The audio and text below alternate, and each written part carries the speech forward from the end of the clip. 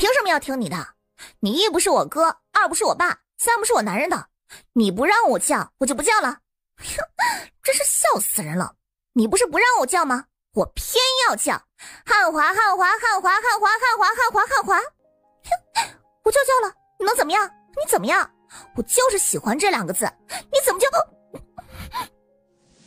而这一次，他那莹润的红唇又被男人吻了回去，堵了个严实。不要脸，不要脸，真是太不要脸了！女孩抡起粉拳，羞得要往他的胸膛上狠狠的砸去，却发现男人的胸膛实在是太硬实了，好像自己出力越重，疼的反而是自己。如是想着，他又抬脚直接朝他的腿上踢去。可是还没等他把小腿伸出去，男人就眼疾手快的一把把他蠢蠢欲动的两条小细腿牢牢的握在手心里。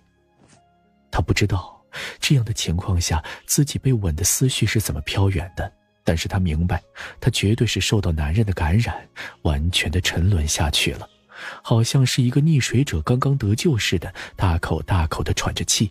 头顶突然传过来男人愉悦又坏痞的声音：“笨蛋。”接吻的时候都不会换气的吗？你个臭流氓，是不是有什么问题啊？没有听懂我刚刚的话吗？最后再告诉你一次，别再让我听到你再喊那两个字，不然我不介意现在就把自己变成你唯一的男人。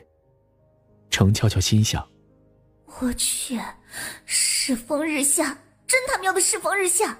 耍流氓都能这么明目张胆的了吗？耍流氓都能这么嚣张的吗？操了！怎么我以前都不知道，原来还可以这样操作的？